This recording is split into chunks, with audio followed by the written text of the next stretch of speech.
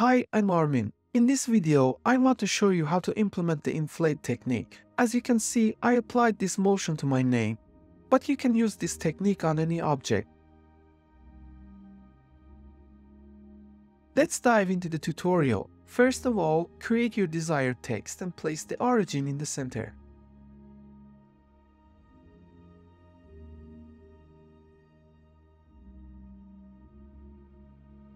Now, in the geometry section, adjust the depth and extrude to give your text some volume.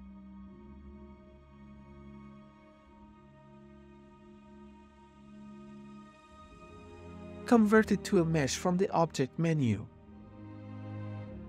Add a remesh modifier in the modifier section and fine-tune the settings in the sharp category for the best result. Be cautious not to increase the mesh count too much to avoid making the project heavy, to make your inflate more visually appealing.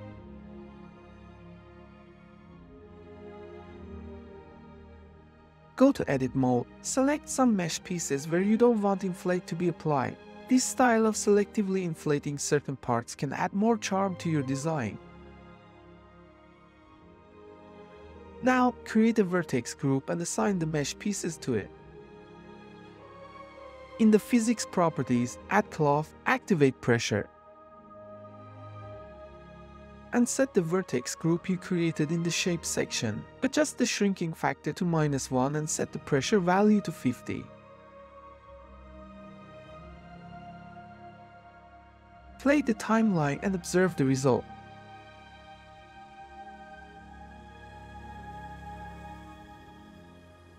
Add a subdivision surface for better inflation shape.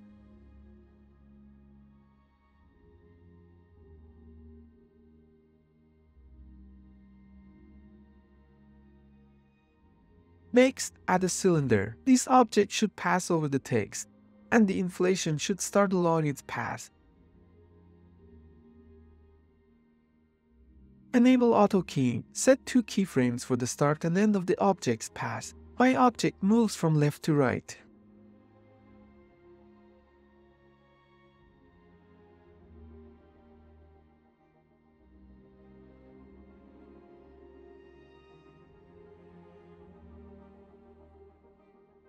Go back to the physics properties of the text.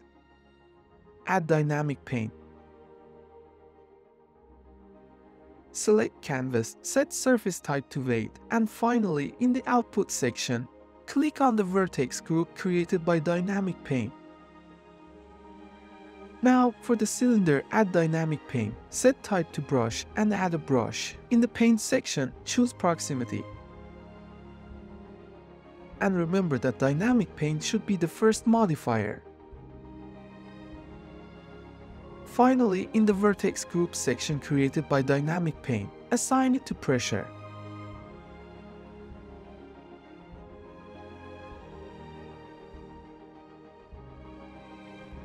See the result now.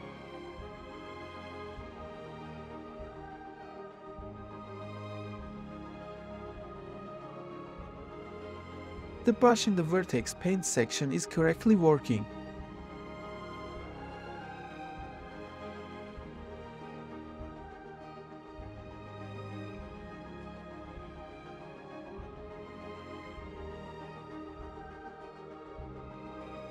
Also, to hide the brush object during rendering, turn off the visibility options in the object properties. Quick side note while we keep the video rolling. Do you want a sneak peek at the magic behind my projects? Join my Patreon community today. It's not just about supporting my work, you're unlocking a whole new level of engagement. Make sure to drop by my Discord. It's a great space to learn, share, and grow together. Can't wait to see you there. I hope you enjoyed the video. Don't forget to like and subscribe. And please leave your comments below. Looking forward to seeing you.